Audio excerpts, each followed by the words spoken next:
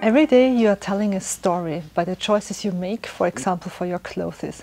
And I want you to be aware about that you are telling this story about yourself and about your strengths and abilities you have.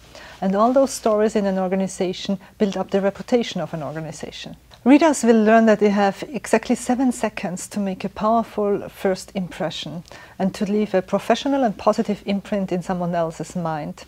That professional imprint is a combination of the ABCD, which I describe in the book. It's your appearance, your behavior, your communication, and the digital footprint on the internet. What makes this book unique are three things. The first thing is I don't sell a one size fits all formula to my readers, which is often described in uh, other books.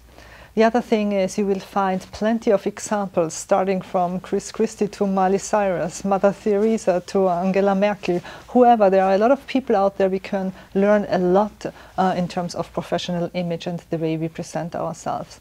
And the third thing, it comes with a free mobile app so you can have an image consultant with you in your pocket every day. Every professional will benefit from this book.